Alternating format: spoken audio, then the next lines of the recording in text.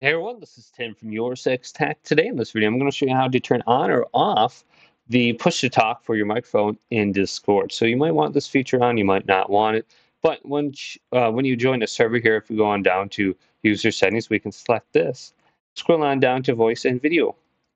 And then we will have an option for our input device, output device.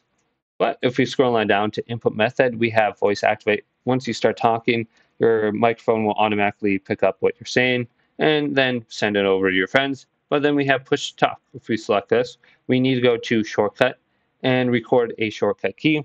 Many times it could be like the V key or something like that.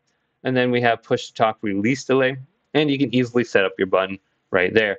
I'm just going to leave mine to voice activate, and then in the game settings, I usually play Warzone or something. I'll have push to talk in the game so I can speak to my friends in Discord, and then have push to talk for the game so I can hear both audios at the same time and communicate with them appropriately. But hopefully this video did indeed help you out. If did, leave it a big thumbs up and subscribe my channel down below for more tech out videos coming up next on Your Six Tech.